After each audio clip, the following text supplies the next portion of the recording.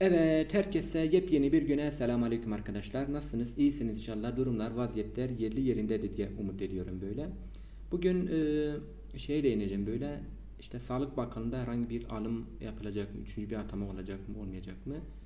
Onlara biraz değineceğim. Çünkü çok çok çok sıklıkla e, sorular geliyor ve aynı zamanda artık yeni öğrenciler de mezun olduğu için ve yüksek puanı olanlar var, düşük puanlı olanlar var veya sınırda olan arkadaşlarımız da var. Çok çok merak ediyor işte hani Üçüncü bir alım ne zaman olacak? Ki herkes de bekliyor. Çünkü geçmiş yıllara, geçmiş dönemlere baktığımızda en az en az 3-4 tane alım yapılıyordu. Yani, yani hiç yapılmasa da 3 tane alım yapılıyordu. Ama bu yıl sadece 2022 KPSS puanı ile 2 tane alım yapıldı. Yani üçüncü bir alım muhakkak olacaktır ve beklentiler de yüksek ama şu anda yani konuşulmuyor. Ne e, bakanlıkta ne orada ne burada herhangi bir şey yok. Sendikaları da sorduğumuzda sendikalar da herhangi bir bilgisi bir şey yok ve bilgi de verilmediğini de şey yapıyor. Ha ne olur? Şu anda zaten seçimden sonra işte asgari ücretmiş, zamlarmış, memur maaşlarıymış gündemde olduğu için ister istemez atamalar işte ne kadar alım olur ne kadar şey olur biliyorsunuz ki ek bir torba yasası çıkarıldı. Bu torba yasasıyla ne kadar alım yapılacak halen de hiçbir şey net değil. Yani demek istediğim zamlar, maaşlar gündemdeydi. Bunlar birinci sıradaydı. Artık bunlar e, yani eskinecek ve artık atamalar olsun, yeni alımlar olsun bunlar ön plana geldiğinde ise istemez sosyal platformlarda, Twitter'da, haber kanallarında farklı kişilerin aracılığıyla bunlar dile getirilir ve hali hazırda da e, yani bir seçim de var Mart ayında bir yerel seçim de var. Hiçbir hükümet bunu kaybe e, şey yapmaz böyle göz ardı etmez.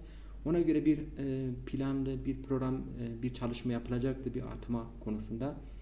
Yani en kısa zamanda e, şöyle diyeyim. E, şu anda Temmuz ayındayız. Ağustos, Eylül, Ağustos ve Eylül ayında artık gerek e, sosyal platformlarda, haber kanallarında, mecliste, milletvekilleri de e, dilendirmeye çalış, dilendirilecektir. Onlar ön plana gelecektir. İşte biraz gittikten sonra böyle Eylül'den sonra Ekim, Kasım, Aralık gibi yani bir alım ben bekliyorum şöyle. Hatta alımı ikiye de bölebilirler böyle Kasım Aralık'ta birinci part, ikinci parta böyle Ocak sonu Şubat'ta alabileceğini düşünüyorum ama muhakkak olacak. Yeni seçime kadar Sağlık Bakanlığı'nda bir üçüncü alım olacak. Ama sayı ne kadar olur, az mı olur, kötü mü olur bilemiyoruz ama olacağını ben düşünüyorum ve tahmin ediyorum ki hiçbir zaman kaybetmez. Çünkü 2018'den beri bu süreci takip ediyorum ve olacağını bekliyoruz.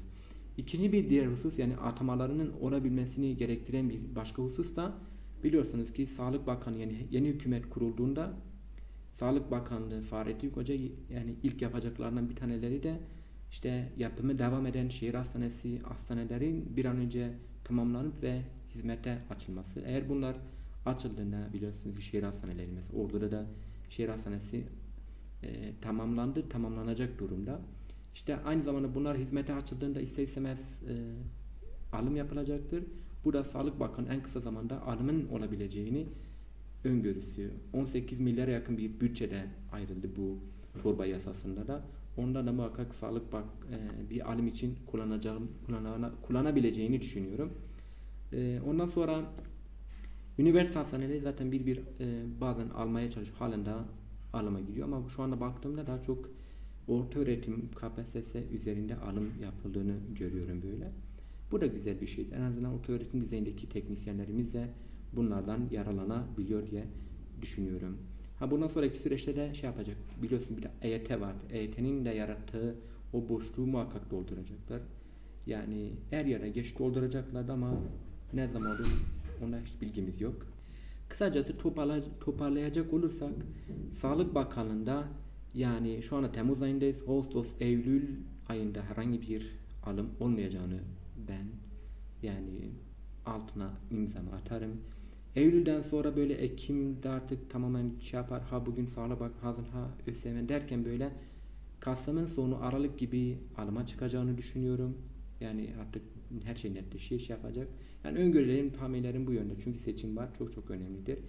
Ha puanı yine altını çizerek eklemek istiyorum. Puanı sınırda olan, puanı düşük olan arkadaşlarımız muhakkak farklı kurumlarda, farklı yerlerde puanlarınızı değerlendirsin. Bakın üniversite hastaneleri yani ara ara çıkıyorlar böyle. Bu yönde de puanlarınızı değerlendirebilirsiniz. bilmenizi istiyorum ki siz yarına kaldığımı diğer döneme kaldığınızda her geçen gün rekabet edeceğiniz kişi sayısı artıyor. Yani bugün işte örnek veriyorum ki 80 puanı 80 puanla siz 10 binlerde 15 binlerdeyseniz yarın bir gün 2024 KPSS ile siz 80 puanla siz 20 bin 30 binlerde olursunuz. Bunun hesabını iyi yapmanız gerektiğini düşünüyorum. Ona göre e, kendinize en yakın en güzel yerleri böyle yani yolu çizmenizi şey yapıyorum. Benim amacım burada size bir farkındalık, bir bilinç oluşturmak. Geri kalan e, durum sizin elinizde. Balık tutmayı ben öğretirim. Yani vesile olurum. Artık balık tutmak sizin elinizde.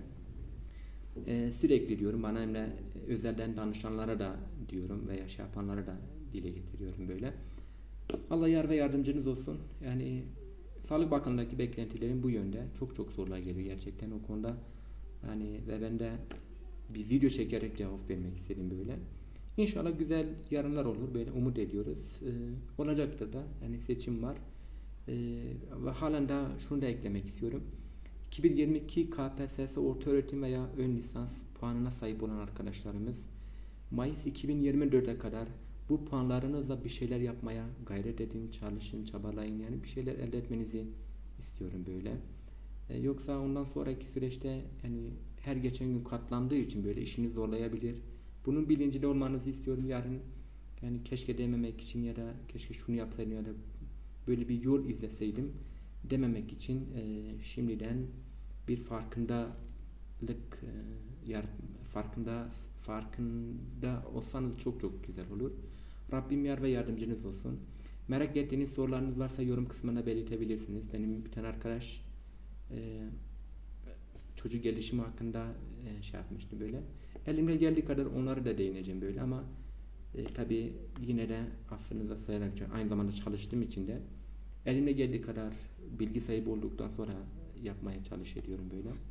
Yaptıktan sonra bir bir e, sizinle irtibat halinde olup e, gerçekleştireceğiz.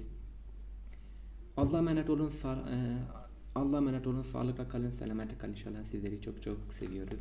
Güle güle inşallah.